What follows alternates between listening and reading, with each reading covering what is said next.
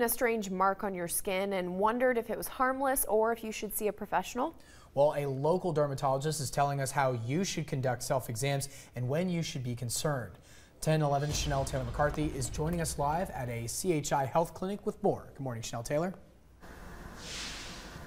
Yeah, guys, we're back with Dr. Tyler Evans, and we're in the Mohs surgery lab where doctors can take a closer look at cancer, skin cancer. So, can you talk a little bit about what people should be looking for when they're doing skin checks to, you know, be able to come into the doctor?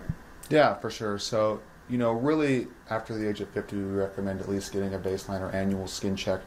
Um, and when we talk about skin cancer, there's really there's two types of skin cancer. There's melanoma, or mole, cancer of bad moles and non-melanoma skin cancers. And here in the Mohs Surgery Lab, we do a lot of um, surgery for the non-melanoma skin cancers. And for those things you should be looking for, new bumps on your skin, especially in high sun areas like the head and neck, things that aren't healing, bleeding, just not going away, things we want to check out.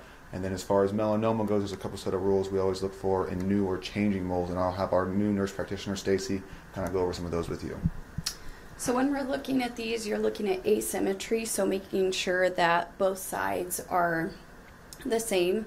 Um, irregular borders, color, if there, there is multiple different colors, that's not a good sign. Diameter, so six millimeters, um, which is about the size of a pencil eraser.